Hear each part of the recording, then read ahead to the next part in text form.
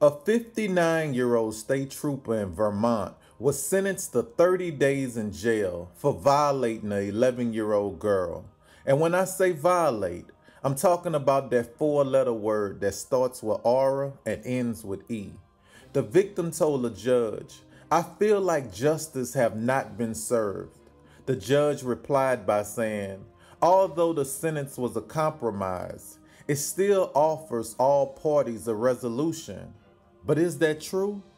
Because one of the parties is telling you that they didn't get justice. And you say you're doing this to look out for her because by him accepting the plea deal, she don't have to worry about getting up on the stand and telling her side of the story. You say you don't want her to have to relive that.